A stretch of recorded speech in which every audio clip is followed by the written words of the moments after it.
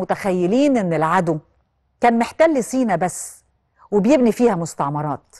لا الحقيقة إنه كان بيحاول ياخد ثرواتنا من آثار من كل حاجة في قلب الأرض معادن بترول أي موارد هو عايزها. لكن رجال القوات المسلحة حافظوا على ثرواتنا لحد النصر ولحد دلوقتي. ودي كانت بداية حدوتة بطلنا النهارده. الربان اللواء محمود سعد. واحد من قادة عملية الحفار. أنا سعيدة جدا جدا إن أنا بقابله النهارده. أهلا بيك يا سيادة الربان أهلا بحضرتك. أنا بجد والله العظيم ببقى فخورة وفرحانة. ربنا يخلي حضرتك. في البداية يا فندم حضرتك عاصرت النصر وشاركت فيه. في كل سنة لما بت- بتحل ذكرى حرب أكتوبر أو تحديدا ذكرى الحفار. آه، حضرتك آه، آه، بتحس بإيه بالحالة دي؟ عيد ميلاد. شوف حضرتك السنة دي كان خمسين سنة على الحفار. كل سنة في 8 مارس يعني بحس إن إحنا عملنا عمل لمصر. يعني القوات البحرية تفتخر بيه. وحضرتك المخابرات العامة اكتشفت إن آه، إسرائيل عملت شركة اسمها مدبار عملتها في إنجلترا. رأس مال إسرائيلي أمريكي آه، إنجليزي. واستأجروا حفار اسمه كنتنج وان من كندا عشان يدوروا يدوروا على البترول في خليج السويس. واتعرض الملف على الزعيم جمال عبد الناصر. فأشر عليه للسيد سامي شرف إن يتم تدمير الحفار قبل دخوله البحر الأحمر. قبل دخوله؟ طبعا. آه. لأن لو دخل البحر الأحمر بقت مشكلة ما نقدرش نضربه بالطيران. آه. إسرائيل كان تفوق غير عادي في وقتها فكان هتبقى مشكلة يعني. فلازم نضرب بعملية ما حدش يعرف إن إحنا يبقوا عارفين إن إحنا اللي ضربناه بس ما بس مش إحنا. بس مش إحنا. آه. آه. التعليمات آه، الفريق فوزي الله يرحمه. كان وزير دفاع إدى تعليمات للواء محمود فهمي كان قائد قوات البحرية العظيم الله يرحمه الله يرحمه. عشان يقابل السيد سامي شرف في رئاسة الجمهورية اداله ملف عليه تأشيرة الزعيم ب تدمير اتصرفوا. الحفر. اتصرفوا آه رجع اسكندرية اختاروا المجاميع هختصر الإصحاب. اختار المجاميع وبدأت بقى القصة من تعليمات اللواء محمود للرائد خليفة الله يرحمه. خدتوا التعليمات أكيد يعني حصل خطة واتدربتوا عليها جوه مصر في مناطق العمق بقى بقى عندي خبرة شوية. هتعوموا كام كيلو هتنزلوا إزاي؟ أنا بحب أعرف التفاصيل. هقول لحضرتك. لما جت تعليمات آه، للواء محمود خد تعليمات ورجع على اسكندرية. اختار كان آه، ظروف وقتها عملية ايلات الأولانية طلعت وما كانش لنا نصيب إن إحنا نشتغل فيها. آه.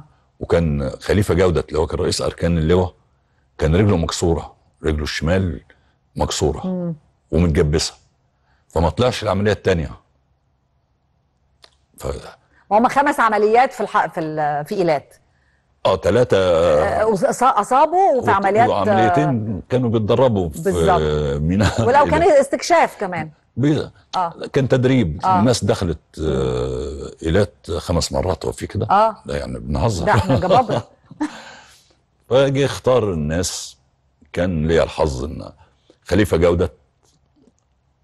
إحنا كان ظروف إيلات إيه؟ يا إيلات يا شرم الشيخ حسب بتشفع فين. آه. فأنا كان حظي كويس إن أنا على طول أتحط في الحتة اللي ما فيهاش المركب. يعني آه. أتحط في المجموعة بتاعت شرم الشيخ. أيوه أيوه. وتتضرب. كده يعني. ففي آخر مرة في عمرو البتنوني الله يرحمه الله يرحمه. ورامي عبد رامي عبد العزيز تاني عملية إيلات. آه. ما ضربوا بتشافع كنا في الخدمة الخاصة هنا أنتوا في غيرانين بقى عايزين تروحوا آه، عملية. فجات لكم العملية دي؟ جدي خليفة فك الجبس آه. وجي بيعرج جابوا محمود فهمي الله يرحمهم الاثنين وقال له في كذا كذا كذا كذا. اختار المجاميع فاختار كان خططوا إنهم يضرب بثلاث مجاميع. ملازم أول حسن الشراكي ومع زميله صف ظابط ملازم أول بالأقدمية يعني ملازم أول محمود سعد ولازم أول عادل الصحراوي.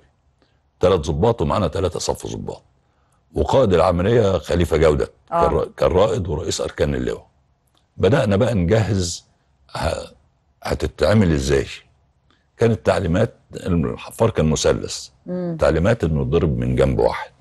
مم. عشان لو ال- ياخد مية ويتقلب خلاص. ويتقلب آه. فنبقى خلصنا منه. في بالظبط. بدأنا خدنا المعدات جت على القاهرة على المخابرات العامة. حطوها في مخل الحقائب الدبلوماسية مخل زي بتاعت الجيش بتاعت العساكر دي. مم. اتحطت المعدات ورحنا بالليل قبل ما نسافر رحنا قابلنا السيد أمين هويدي كان مدير المخابرات. فسلم علينا وقال لنا الزعيم بيقول لكم يعني شدوا حيلكم. آه مصر مستنية تسمع منكم أخبار كويسة. طلعنا عن طريق فرانكفورت وصلنا دكار. عادل الصحراوي ومعاه اتنين صف ضباط وصلوا عن طريق أديس أبابا. آه. اتجمعنا في دكار قعدنا. راح خليفة جودة وكان مندوب المخابرات معانا اسمه أحمد هلال. رحنا راحوا قابلوا السفير قالوا له يعني إحنا جايين هنعمل كذا كذا. خليفة بيقول له. قال له بتاع كسر إيه وحفر إيه وغرق إيه. لا لا لا مفيش كلام من ده. إحنا بقالي ثلاث سنين بحاول أصلح العلاقات وما صدقت إن العلاقات تصلح. السفير المصري. السفير المصري. آه عشان كده اتضربت في أبيجيان. لا. آه. رحنا نقلنا عشان يجي دور اللواء عبد السلام المحجوب. آه. نقلنا على شركة النصر بمعداتنا وعشان بس هنشتغل بالليل. واختار خليفة الله يرحمه اختار مكان بيبعد حوالي 10 كيلو عن المينا. آه. وجالنا مفيش أأمن مكان تنزلوا منه ده فهننزل بدري ونرجع. هنعوم يعني 20 كيلو. أيوه. خلاص. 20 رايح 20 لا 10 رايح و10 10 جاي آه okay. طلعنا الأوتيل الأوتيل كان بيبص على المينا. مم. الساعة خمسة كده واقفين في الفراندا في دكار لقينا الحفار القاطرة واخداه طلع. أوه سافر. اتحرك. سافر الحفار. قبل ميعاده اللي كنتوا عارفينه. إحنا كنا هنشتغل بالليل آه. هنبدأ الساعة تسعة هو مش الساعة خمسة. مم. طبعا حضرتك ما تعرفيش صدمة طبعا. صدمة صدمة. طبعا. على أمل إن تيجي تعليمات من مصر إن إحنا نسبقه في على أي دولة في إفريقيا آه. هيكون هيخشها. آه. جت التعليمات إن إحنا نرجع مصر. أوف يا إحباط. مش إحباط عيطنا يعني. طبعا. رجعنا عشان يبقى في قصص تتحكي عادل الصحراوي رجع عن طريق آه، أديس أبابا مفيش مشاكل. آه. إحنا فرانكفورت نزلنا. كان هنقعد ترانزيت 20 ساعة. ومحجوز لنا أوتيل وخدنا آه. المخل وجايين جايين نطلع. فوقفنا لسه نشوف حد يشيل على العربية وكلام آه. ربنا كرمنا بست عجوزة كده. وصرخت. تكلم ألماني طبعا صرخت. أوف. ما نعرفش إيه اللي حصل لقينا نفسنا إحنا في النص. وحوالينا البوليس ال- ال- الأول كل المودعين والمسافرين و... طرح إن الست قالت شاورت علينا وقالت هم دول الارهابيين كان كان ليلى خالد ضربة طيارة بتاعت شركة آه، لوفتهانزا وخاطفين طيارة بتاعت شركة العال آه. والفلسطينيين عاملين يا خبر أبيض. قالت هم دول. وانتوا معاكم المعدات. مع انها الالغام في المخل. مش معقول. آه والله. لا لا ده فيلم لوحده دي قصة لوحدها. جابوا لنا البوليس جاي يجري. بقينا إحنا في النص. والبوليس حوالينا ومعنا المخل. وانور عطيه ربنا ألهمه الله آه. يرحمه. آه. جابوا لنا مدير البوليس آه. مدير بوليس المطار. آه. انور عطيه أول ما شافه قال راح طلع الباسبور قال له أنا دبلوماسي مصري ودول مصريين زمايلي وكانوا معايا على الطيارة. أنا عايز تحجز لي على أول طيارة طالعة إن شاء الله تكون طالعة تل أبيب. آه. الراجل الالماني مصري و... وتل تل أبيب. ابيب قال له في؟ قال له أنتوا عنصرية و... آه. قال له لا لا.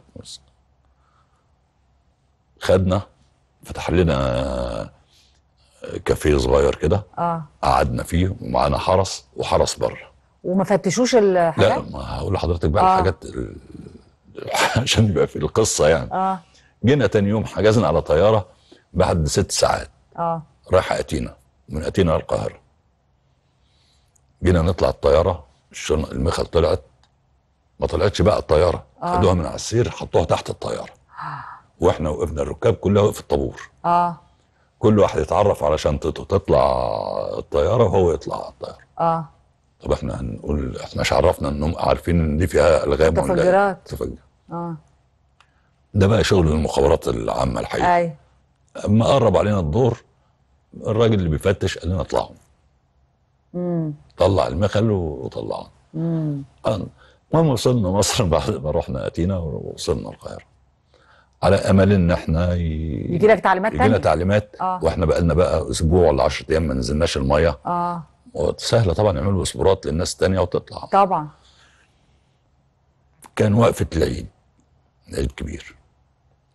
الحق جري على القاهرة من القاهرة على المطار. طلعنا خليفة جودة الله يرحمه. أها. حسن الشراكة الله يرحمه. محمود سعد. نفس المجموعة. نفس المجموعة أحمد المصري. okay. بس اللي معانا خليفة بقى مش آه. انور عطيه آه. انور عطيه كان راح بقى مع محمد نسيم وصلوا أبيجان. okay. وانتوا حصلتوهم أبيجان؟ رحنا على أبيجان عن طريق باريس. وصلنا راحوا للسفير خليفة جودة الله يرحمه. آه. راح قابل آه، السفير وكان اسمه حسام طلعت الله يرحمه. وده كان ضابط بحري أصلا. آه. خليفة بيقول لهم الاثنين كانوا من مصر الجديدة خليفة وإحسان طلعت بيقول له بقى إحنا جايين هنعمل قال له يا خليفة أنت اعتبرني. أما قال له بقى هنعمل كذا قال له اعتبرني ضابط من الضباط اللي معاك تديني تعليمات وأنا أنفذ. جه قال الحفار مش مضمون يقعد لبكرة. آه. هنشتغل النهارده ها؟ طبعا نشتغل. طبعا. أهلا وسهلا. يلا بينا دلوقتي. رحنا على ال- الساعة تسعة كده سيبنا الأوتيل ورحنا على السفارة. السفير مشى كل الطقم الخدمة اللي موجود عنده أي. بالكله ما فضلش في البيت اللي هو ومراته. آه. رحنا إحنا بمعداتنا محمد نسيم خليفة جودة المجموعة دي. إحنا معانا أربع ألغام. آه. وإحنا ثلاثة اللي بننزل المية. شراكي محمود أحمد المصري. آه.